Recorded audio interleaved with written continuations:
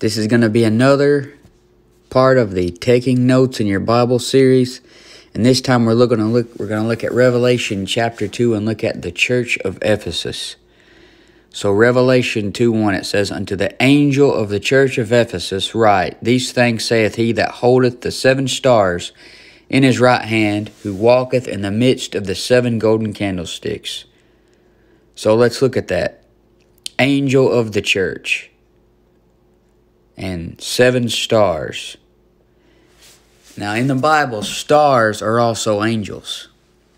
And back in Revelation 120, it says, The mystery of the seven stars which thou sawest in my right hand, and the seven golden candlesticks, the seven stars are the angels of the seven churches, and the seven candlesticks which thou sawest are the seven churches. And a reference I have down with that is in Amos 5 8, Seek him that maketh the seven stars in Orion. You see, a lot of people get so far out there and into talking about angels. All they want to talk about is angels. They got a vision from an angel. They seem to talk about angels more than they talk about Jesus Christ. Jesus Christ is the one that made the angels.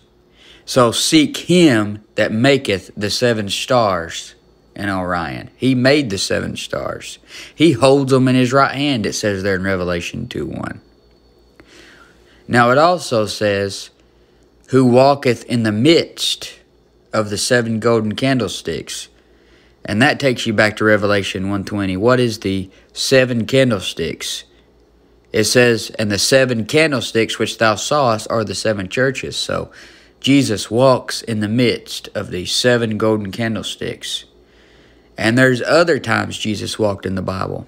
I wrote these references down. Other times Jesus walked. You know, there's songs about how Jesus walked. The filthy mouth rapper Kanye West has a song called Jesus Walks. A lot of people are concerned with Jesus because he's the most famous being that ever lived. He's an eternal being. He's always lived. He's always been here and always will be. But there's other times in the scriptures where he it's talked about him walking.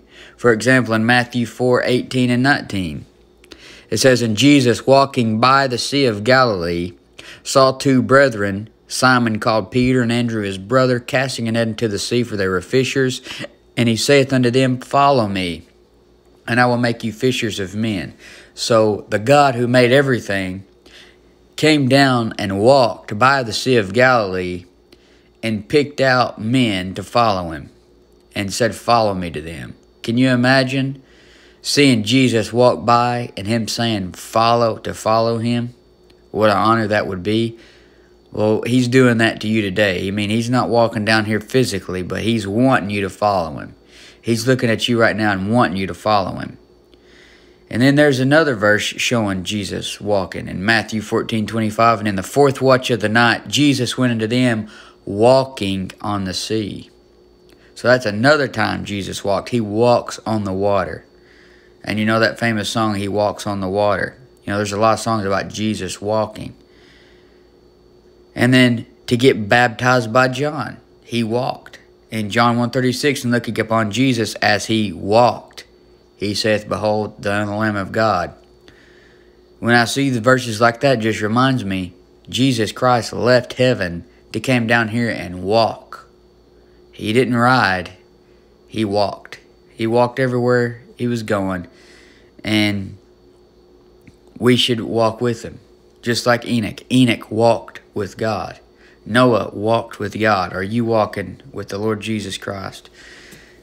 Now, verse 1, it talks about, as I said, those golden candlesticks. That takes you back to Revelation 120. And then Revelation 2 and verse 2. It says, I know thy works, and thy labor, and thy patience, and how thou canst not bear them which are evil, and hast tried them which say they are apostles, and are not, and hast found them liars. So let's look at works, that word works. What are works? Works are the good things that you do, or the bad things you abstain from doing. That's your works and uh, you don't want to be an evil worker. The Bible talks about evil workers. There's men that go around doing bad things. Those are bad works.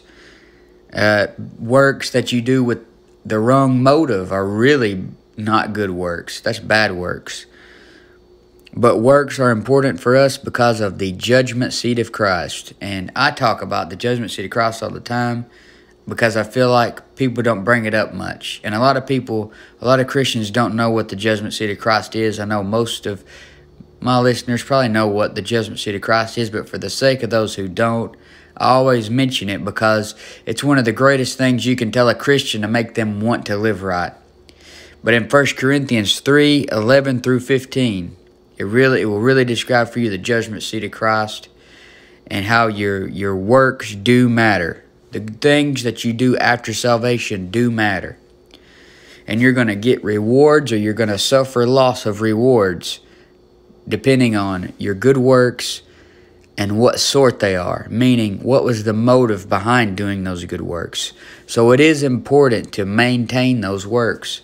And in I wrote some references down about works, Titus 3:14, and let ours also learn to maintain good works for necessary uses that they be not unfruitful. So we need to maintain them. Don't just do one here and one there, we need to maintain them. It's important, works are important because of God's plan. It's God's plan for us to have them. In Ephesians 2:10 for we are his workmanship created in Christ Jesus unto good works, which God hath before ordained that we should walk in them. So it does matter how we dress. It does matter how we live. It does matter how we live our life. It does matter how, in our dealings with other people. 1 Timothy 2 9 through 10 says, In like manner also, that women adorn themselves in modest apparel, with shamefacedness and sobriety, not with bordered hair, or gold, or pearls, or costly array, but which becometh women professing godliness with good works. If you're going to profess godliness, then walk the walk. Don't just don't just talk the talk. You need to walk the walk as well. Because people look at your walk more than your talk. 1 Timothy 6, 17 and 18. Charge them that are rich in this world that they be not high minded, nor trust in uncertain riches, but in the living God, who giveth us richly all things to enjoy that they do good, that they be rich in good works. It's better to be rich in good works than to be rich because you got a lot of money. You may be poor, you may live in a one bedroom apartment with no car, no name brand foods, no name brand clothes, but you can be rich in good works. And the Bible will tell you how to be rich in good works. Because in 2 Timothy 3 16 and 17 it says, All scripture is given by inspiration of God and is profitable for doctrine, for reproof, for correction, for instruction in righteousness, that the man of God may be perfect, thoroughly furnished unto all good works. So the Bible will show you how to do good works. And you should show a pattern of them. Not just one here, one there, and not just sometimes living good, sometimes not living so good you need to show a pattern of good works, and if people see those, that's really going to give you a good testimony. Titus 2 7, in all things showing thyself a pattern of good works. Hebrews 10 24 through 25, and let us consider one another to provoke unto love and to good works uh, 1 Peter 2.12, having your conversation honest among the Gentiles, that whereas they speak against you as evildoers, they may by your good works, which they shall behold, glorify God in the day of visitation. It does matter how you live in front of people. Now, verse 2 also, also talks about their labor. The church of Ephesus, their labor. So let's look up the word labor in the Bible. In 1 Corinthians 3 8 it says, Now he that planteth and that he that watereth are one, and every one every man shall receive his own reward according to his own labor.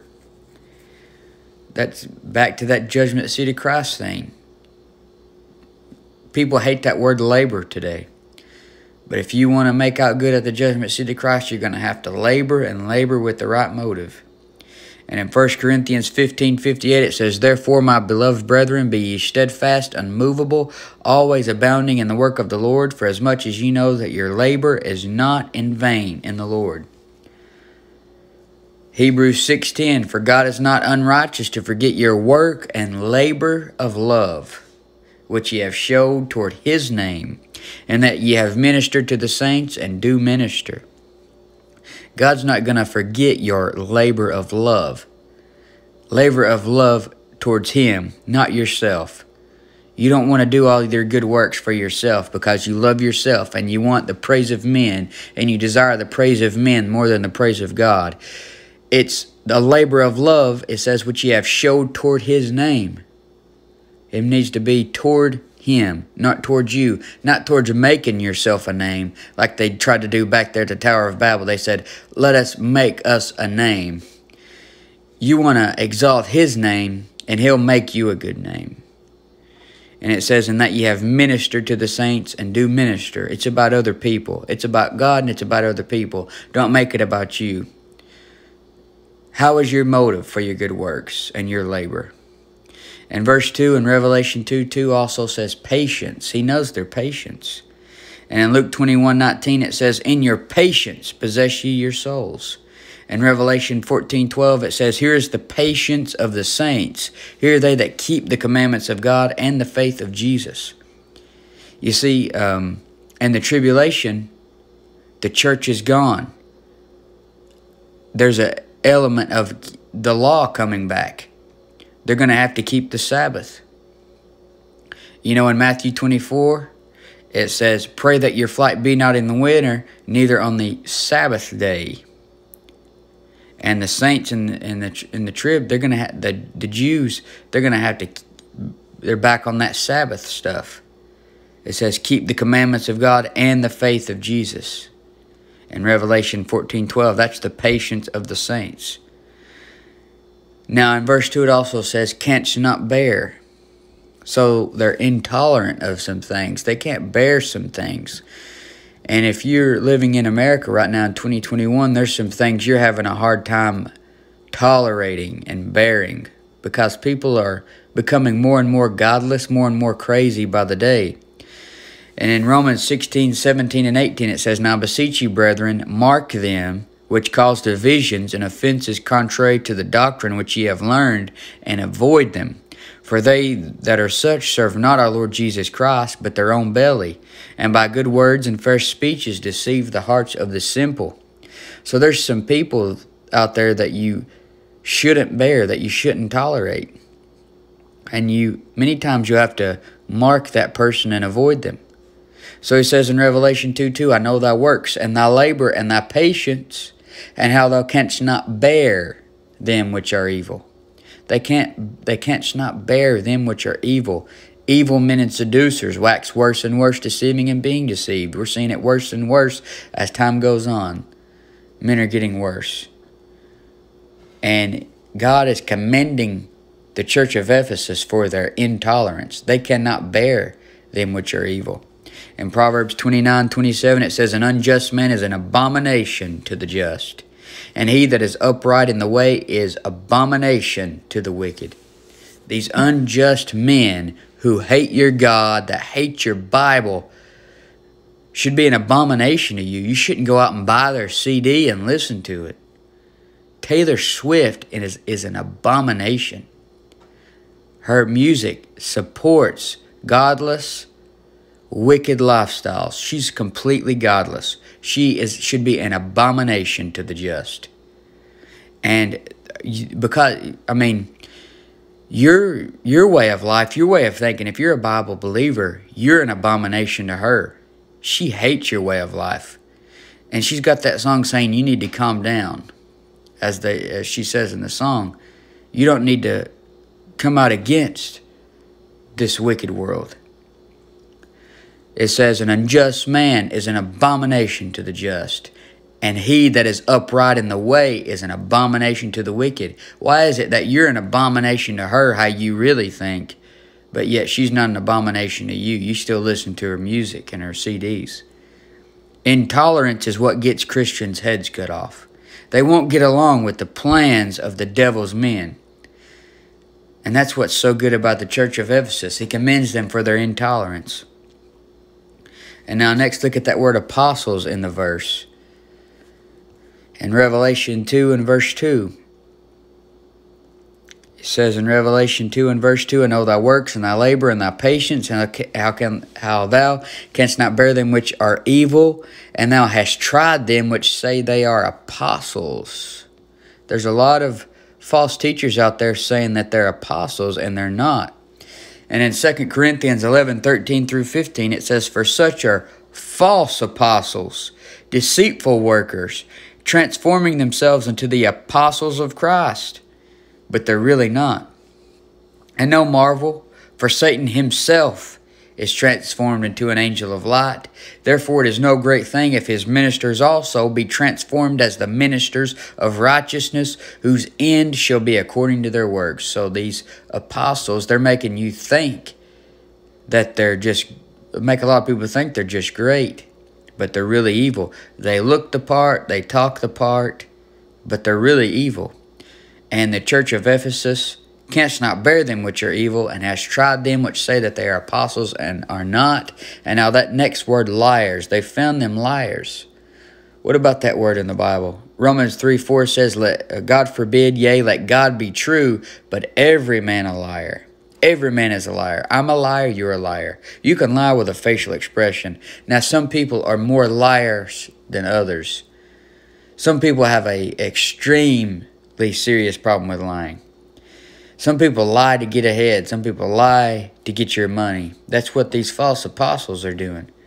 1 John 2.22 says, Who is a liar, but he that denieth that Jesus is the Christ? He is an antichrist that deny the Father and the Son. So the Jehovah's Witnesses, Muslims, they're liars. Who is a liar, but he that denieth that Jesus is the Christ? He is antichrist that denieth the Father and the Son. Anybody who's telling you that Jesus Christ is not God is a liar and an antichrist. And I would mark that person, avoid that person, and get as far away from that person as you can. I mean, it takes more than an average sinner to just come out and say, Jesus is not God. That's getting into some very wicked spiritual sins there. Revelation 2 3, it says, and hast borne, and which means carried, and has patience, and for my name's sake hast labored, and hast not fainted.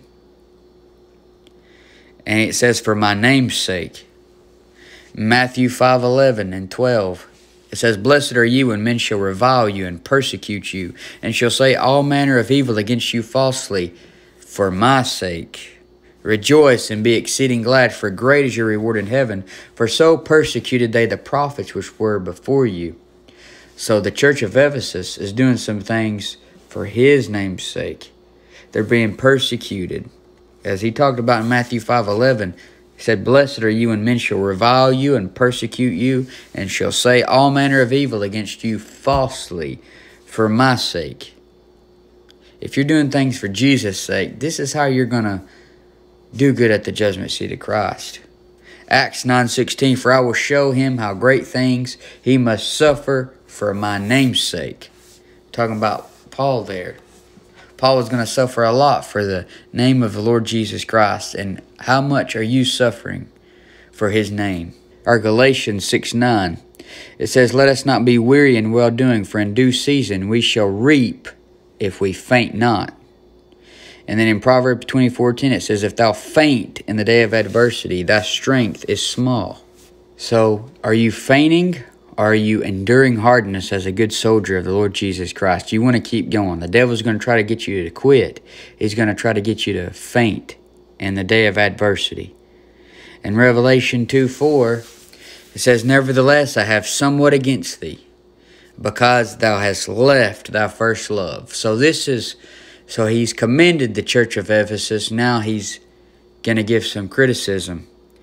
And the fact that he says against thee, that shows that there's always room for improvement. No matter how good it looks like you're doing and how good it looks like you may be, there's always room to improve because there's a perfect man and he's Jesus Christ, and you're never going to be as perfect as him. So there's always going to be room to improve. In 2 Corinthians 7 1, it says, Having therefore these promises, dearly beloved, let us cleanse ourselves from all filthiness of the flesh and spirit, perfecting holiness in the fear of God. So you want to perfect your holiness. Ephesians 4:12 says for the perfecting of the saints. God gave some apostles and some teachers and some evangelists and pastors for the perfecting of the saints. So if you want to perfect yourself, start listening to somebody that knows more Bible than you do and perfect yourself. Start listening to somebody that knows how to live tell you how to live. Start reading the Bible. Wherewithal shall a young man cleanse his way by taking heed thereto according to thy word. He said, Nevertheless, I have somewhat against thee. So there's room for improvement. There's some things that need to be perfected. He says, Nevertheless, have somewhat against thee because thou hast left thy first love. Who is their first love? It's Jesus. In 1 John 4.19 it says, We love him because he first loved us. Ephesians 5.25, Husbands, love your wives, even as Christ also loved the church and gave himself for it. Jesus is their first love. And then it says in Revelation 2 5, Remember therefore from whence thou art fallen, and repent, and do the first works, or else I will come unto thee quickly, and will remove thy candlestick out of his place, except thou repent. So, let's look at that word fallen in, in verse 5. And Jude 24 says, Now unto him that is able to keep you from falling, and to present you faultless before the presence of his glory with exceeding joy. So, who's able to keep you from falling?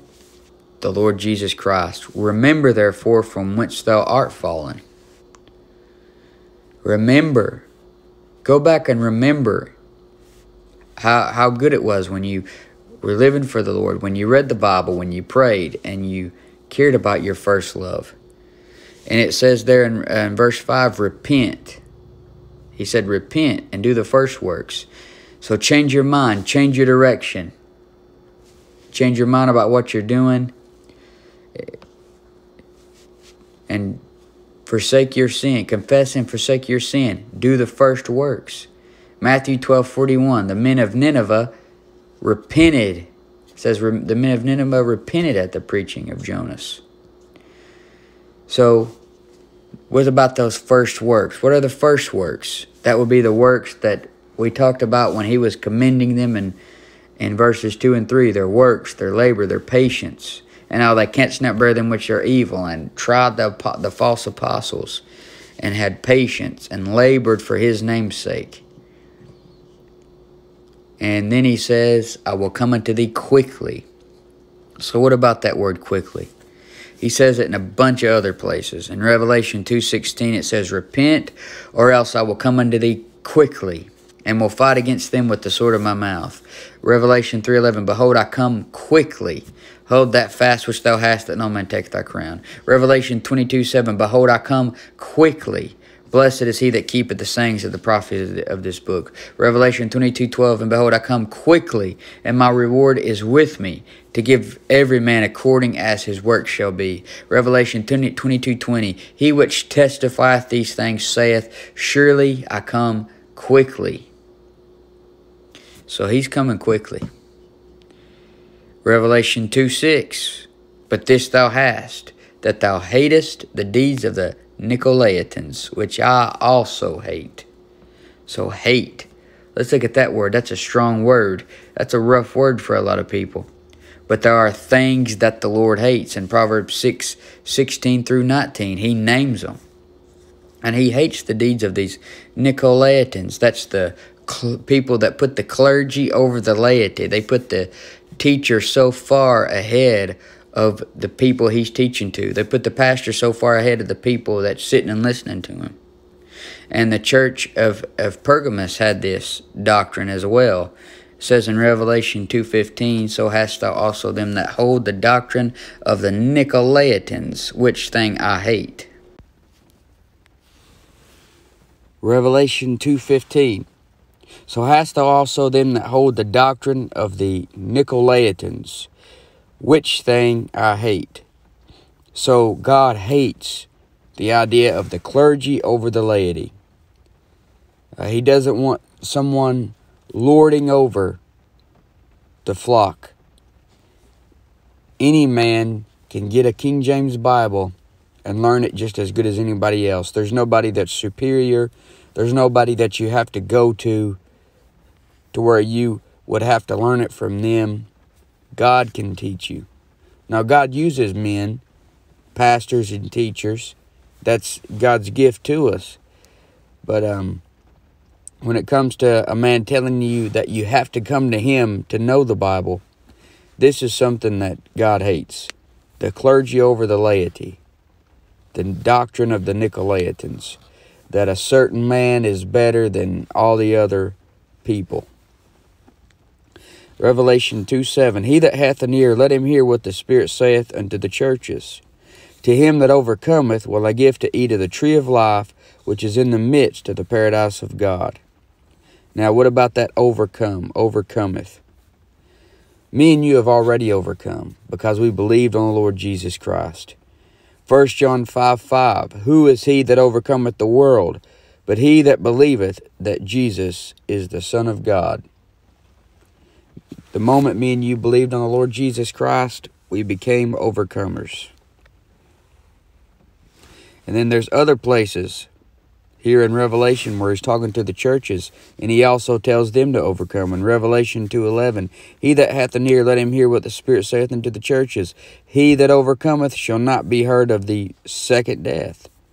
Revelation 2.26, And he that overcometh and keepeth my works unto the end, to him will I give power over the nations. Revelation 3.5, He that overcometh, the same shall be clothed in white raiment, and I will not blot out his name out of the book of life, but I will confess his name before my Father and before his angels. Revelation 3:12 Him that overcometh will I make a pillar in the temple of my God, and he shall go no more out. And I will write upon him the name of my God and the name of the city of my God, which is New Jerusalem, which cometh down out of heaven from my God, and I will write upon him my new name. Revelation 3:21 To him that overcometh will I grant to sit with me in my throne, even as I also overcame and am set down with my Father in his throne. But in Revelation 2 7 to the church of Ephesus, he says, And he that hath an ear, let him hear what the Spirit saith unto the churches. To him that overcometh will I give to eat of the tree of life, which is in the midst of the paradise of God. Now we've already overcame because we believed on the Lord Jesus Christ. But uh, doctrinally, to the tribulation saints, they're going to be eating off of a tree to get eternal life, which is different. Me and you got it through the Lord Jesus Christ. We're not going to be eating off of a tree. Now let's look at that tree of life. In Genesis 2 9, it says, And out of the ground made the Lord God to grow every tree that is pleasant to the sight and good for food, the tree of life also in the midst of the garden, and the tree of knowledge of good and evil. So that tree of life's been around since Genesis 2 or before. In Revelation 22 2, in the midst of the street of it and on either side of the river was there the tree of life, which bare twelve manner of fruits, and yielded her fruit every month, and the leaves of the tree were for the healing of the nations. Notice that tree of life all the way out there in eternity in Revelation 22 2. Who's going to be eating off the tree? Not me and you. Me and you already have eternal life. We don't need eh, eh, healing, anything else. We done got it. And when we get our glorified bodies at the rapture, we're, we're set. We're not going to have to eat off of a tree. Revelation 22 14 Blessed are they that do his commandments, that they may have a right to the tree of life, and may enter in the in through the gates into the city. A lot of people have wanted to get rid of these verses about the tree of life because they say, well, we got our eternal life through Jesus, which we did. So they're saying that this is um, in error or something. But they're just forgetting that it's somebody else that's eating off the tree of life, not people from the church age, not born again believers. And if you remember that, then you're not going to think that you got to change anything or that there's some type of error going on. It's not us that has to eat off the tree. You see, there's going to be people, tribulation saints, who don't get glorified bodies. You're going to have their children who don't get glorified bodies. You're going to have millennial saints and their children who don't get glorified bodies. They're going to be the ones who have to eat off of a tree, not us. Okay, Revelation 2 7. And I will give to him to eat of the tree of life which is in the midst of the paradise of God. Okay, let's look at that word paradise. Jesus told the dying thief in Luke 23 43, and Jesus said unto him, Verily I say unto thee, today thou shalt be with me in paradise. Now, where was Jesus going for those three days and three nights when he died on the cross? after he died on the cross. He went into the heart of the earth. He said, As Jonas was three days and three nights in the whale's belly, so shall the Son of Man be three days and three nights in the heart of the earth. So, and he told the, the dying thief right before he died, Today thou shalt be with me in paradise. So either paradise was in the heart of the earth at one point, or there's more than one paradise. And we know that it uh, moved or there's more than one because in 2 Corinthians 12, 3 and 4, Paul says, I knew a man, I knew such a man, whether in the body or out of the body, I cannot tell, God knoweth, how that he was, he was caught up into paradise and heard unspeakable words, which is not lawful for a man to utter. And we know that Paul went to the third heaven in 2 Corinthians 12. So we know that by this point, paradise was either moved to the third heaven or there's more than one paradise. And I don't profess to know that for sure. But this has been taking notes in your Bible for the church of Ephesus and Revelation chapter 2 verses 1 through 7.